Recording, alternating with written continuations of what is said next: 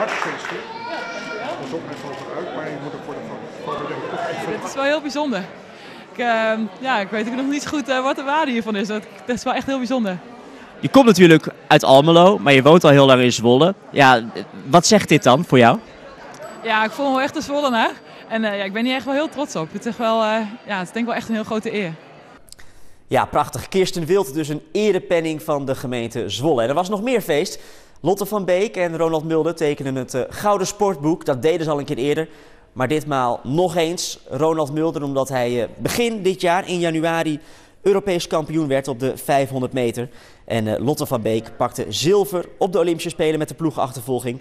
En pakte eerder ook al het EK goud op de 1500 meter en ook de ploegenachtervolging. Maar Kirsten Wild was de grote dame van vanavond. Ehm, nou, ik had me eigenlijk niet zo gerealiseerd dat je zo'n voorbeeld bent voor de, voor de jeugd en voor, de, voor Zwolle. Dat is echt wel, eh, ja, dat vind ik echt wel heel mooi om te horen.